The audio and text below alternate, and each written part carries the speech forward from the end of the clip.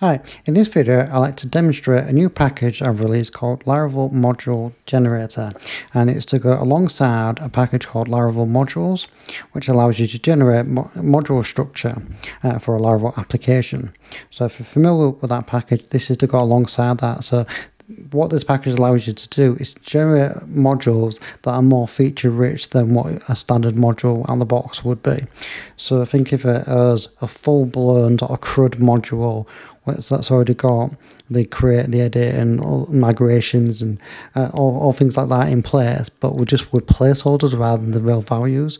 So then you can actually do like a, a mass find and replace essentially on that module to get uh, like a starter uh, to really um, speed up your process when you're building a new module. Probably easier if I just kind of show you show you the process uh, and then we can go through it from there. So first of all, I'm just going to quickly install the module. While that's running, I also want to um, publish the stubs files. Also, it'll, it'll publish the config file, and in the config file, it contains the paths and ignore files. So in the path, it tells us where the path is, where the stubs are going to be located. So that's going to be located in the stub directory. And in stub directory, it will point to a module generator folder.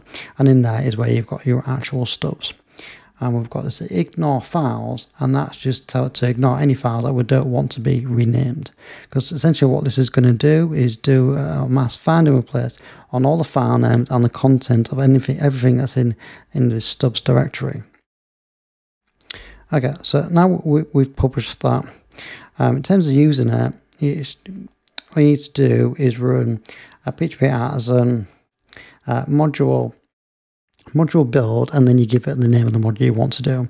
And then what happens then is it takes a copy of that module and it looks for any any of these placeholders and replaces them with the name of the module that you provided so in, in this case if we create a module called contact it found module and it replace it with with contacts. Likewise if it, if it found model then it would replace it with contact as a single version of the contacts. Okay so now we've, we've got that installed and we've got that published. Uh, we've got our stubs file. So this is just an example of how, how to you can design um, a module structure. Uh, you absolutely should change this to suit your own application. Uh, so this isn't going to, this quite often won't match the structure that you're using. Uh, so for instance, if you open up a controller file, as we can see we've got all these placeholders in place and it's it's admittedly it's not very easy to read, but once you get used to that these just become placeholders and when it the the actual file is generated is just a standard looking looking file. Just notice a mistake in here, so that needs to be paginated, not not get for the example I'm about to show you. So basically where you've got like the controller name, so rather having the module there, it would actually have the name or that you provide to that. So it's probably easy if I give a quick demonstration of that process. So I'm going to create, create a new module by saying module build, uh, and then I'll create a module called post. And that's telling me it's created a starter, a starter post module that's generated successfully. So if I look inside my modules directory, I've now got a post folder. And if you look inside the controller, you see this looks a lot cleaner than the file that we was just in. So now we can see we've got the right namespace, it's got the right name for the model, for the module and for the model, and for the views, the variables, they've all been replaced with that, that structure. Okay, so the other thing it does is because we've got a database, um, so we've got a migration in in this in the stub file. So in the database folder, we've got a migration, and we've got this create module table.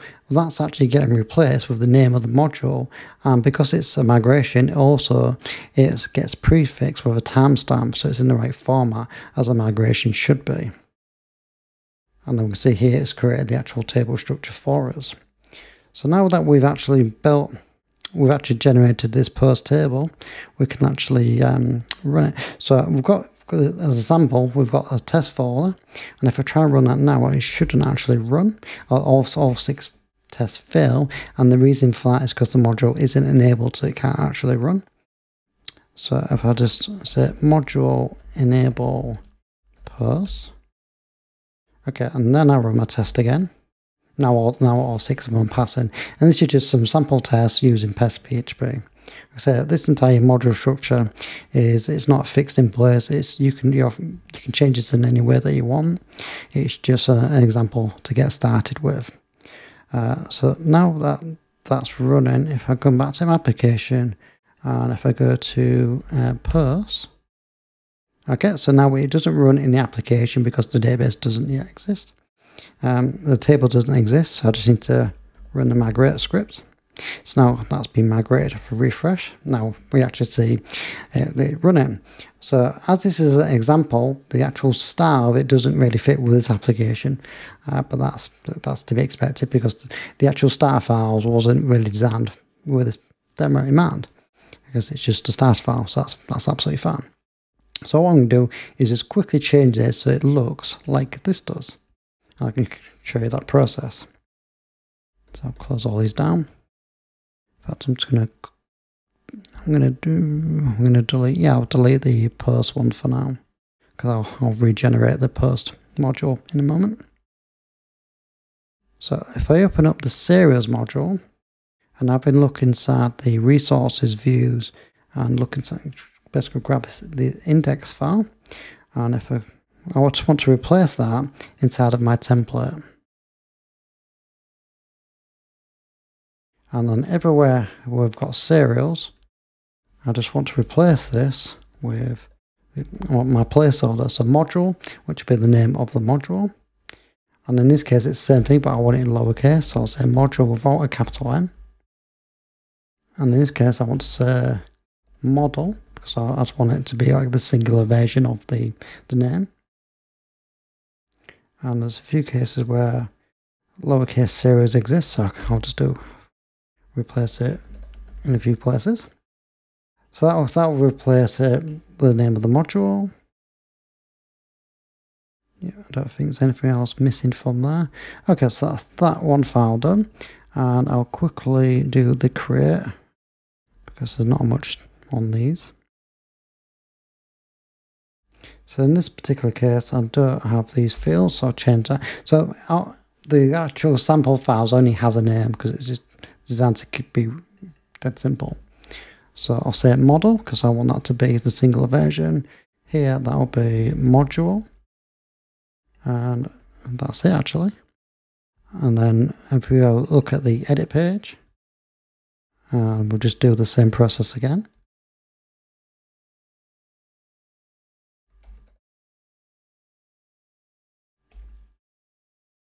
In this case, there's zero in a few places.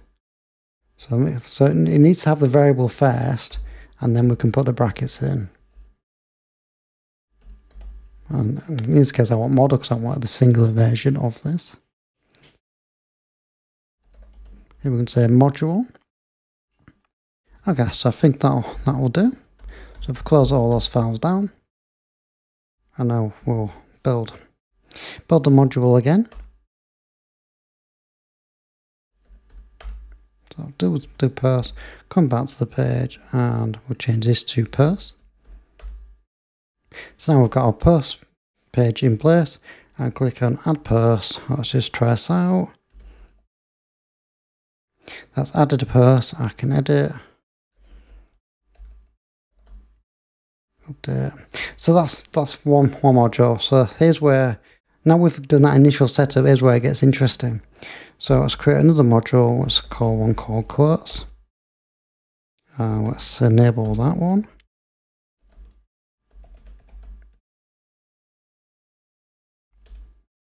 And let's migrate the database.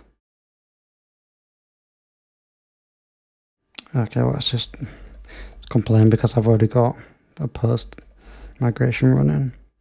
So let's just migrate just a single, uh, the that particular module itself.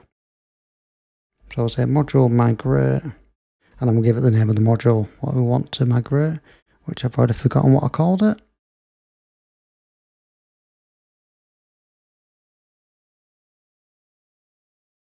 Quotes. Alright, so that's now run. Okay, so if I run through here now and then go to go to quotes, we've got another we've got another module.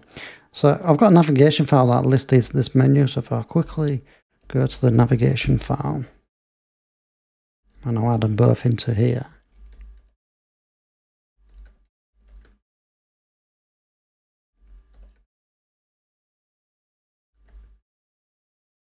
So if I come back, and a little bit, they are, admittedly, they are both the same, but we say they are independent from each other.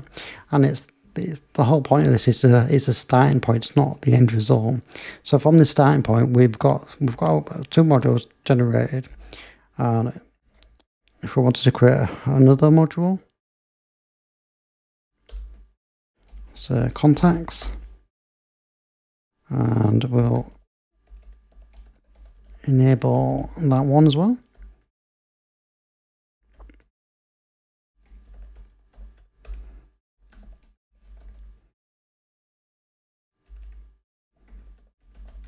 And we'll, we'll see that particular table.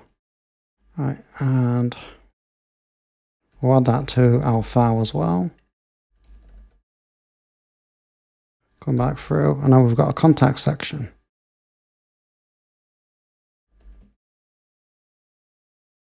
So we've got three separate modules running. So once you've set that base structure, anything you've got in that module kind of works. So the way I would recommend you do this is you would first build a, mo a module yourself. So you've got a full module working the way that you want it to, and then replace the module. Essentially, put the put the files into this folder structure, and then just replace, like I did earlier, uh, when I was going through through these. Anywhere where you've got the actual name of like the unique name for that section that you're in, just replace it with a placeholder. So there's a couple of areas where you might want to do something slightly different.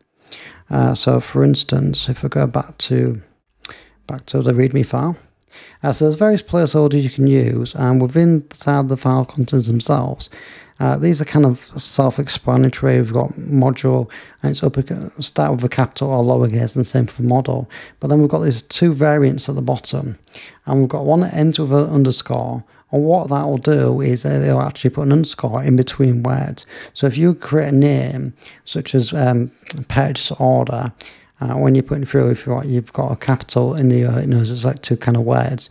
And what it will do then is, for like any migrations, uh, when you when you put in, in fact I'll just show you, inside the migration, what you want to do here is you want to put an underscore and that way if you ever do use multiple words it will know to separate them with an underscore so migrations work the way they should do.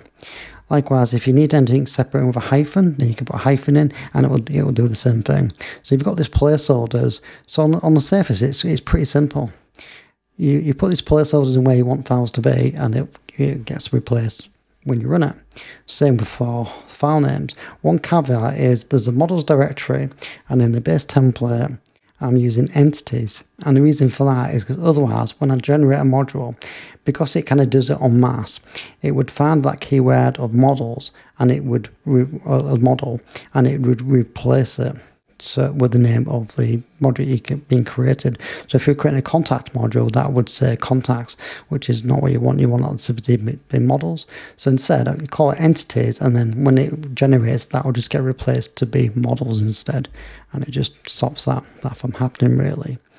Uh, so yeah, it's really useful this because you can essentially go through, even the providers, anywhere where you've got the names, just put these placeholders in place. And then once you've set up a module with all your place, placeholders in place, you can build modules incredibly fast. And then once you built your modules, it's, that's just your starting point. At that point, then you can go through, like in this case, I could go further to the migrations file. I could add, add more fields to it, add more fields to the factory. Or if I needed to seed it, I can go for the seed file, add things there. Same with the model. Go for the model, add whatever I need to add through to there. Same with your tests and the groups. The whole point is it's just a starting point to get started. Uh, that really helps you speed up your process. So it used to be where I would create a, a, a command to do this, where I think I might even have it on this project. Yeah, so I've got I've got this command. That's it. Kind of does the same thing. Uh, so what this does is you say make module, you give it a name of the module, and it will go through. If I come down. So here's where we're saying that the, the, the path. So it's looking in the stubs folder for a particular folder, and it's going to look inside the, that path, uh, and then it's going to go through the files and so here it's going to replace any content that's in the, these files. And then for this section, it, it's going to rename like this file to um, this file. And you've got to put all these placeholders in, in here yourself. And while this works really well, it's it's not very nice to do it this way because you you're looking at the file structure. Uh, the file is in like this format, but you're not actually looking in the, the real files.